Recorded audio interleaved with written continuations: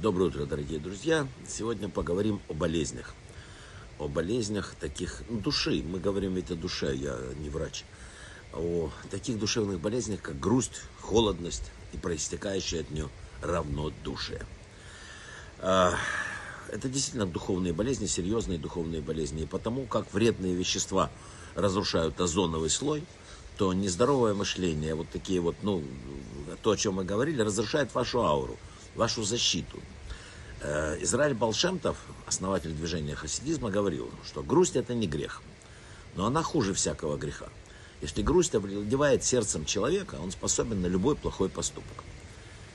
Грусть приводит к еще большему несчастью, к холодности. Холодность противоположна жизни. Любавический Рэбе сказал, от холодности до ереси один шаг. Сказано ибо Бог всесилен твой огонь пожирающий в книге Дворим. Божественность – это огненное пламя. С пылающим сердцем человек должен молиться, изучать Тору. Человек должен гореть в этом мире. Он не должен сидеть где-то там э, и думать, что его это не касается.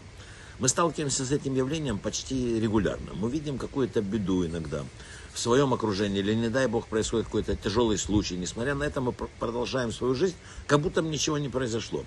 То есть мы не реагируем на это, нас не касается, и ладно. Как будто... Неужели мы не понимаем, что все, что мы видим, слышим, это все предупреждение от Всевышнего, даже если это непосредственно в эту минуту нас не касается. Может быть, он желает, чтобы мы изменились к лучшему, укрепились в вере, улучшили поступки, чтобы с нами ничего подобного не происходило. Надо ответить себе на вопрос, для чего это знание и события зашли в мою жизнь. Случайного ничего не бывает. Сегодня вот вне пандемии мы видим, как страх перед вирусом сменяется равнодушием или даже игнорированием. Раз я не болею, меня это не касается.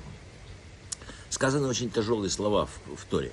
Э, может быть, среди вас есть корень ядовитого растения. Если он, услышав слова, заклятие, благословит себя в сердце и скажет, что со мной такого не произошло, буду жить и дальше по прихоти своего сердца.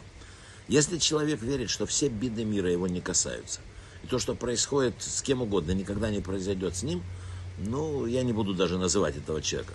То есть тот, кто верит во все эти слова, видит страшные упреки Торы, видит беды вокруг себя, видит в мире беды и остается равнодушным, считая, что просто у меня будет это хорошо. Да, это страшная ошибка, от нее предостерегают нас.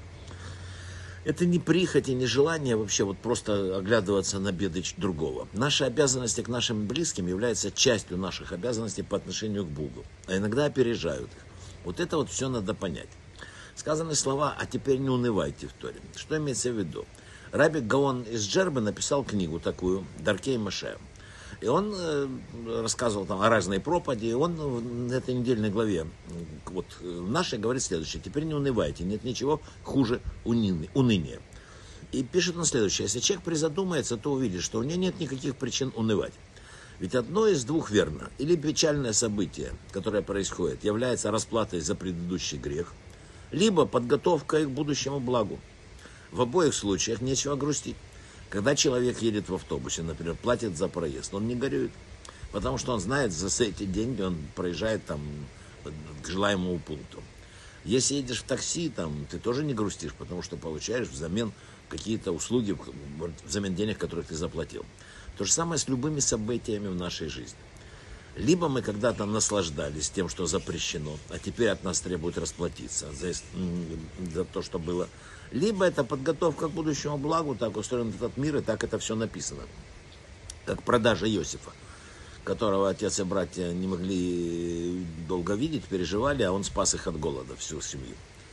Еще написал Раб Маша в этой замечательной книге. Если человек ехал, а теперь ему надо платить, он не может отказаться от оплаты – и не может переживать, и не должен переживать по этому поводу.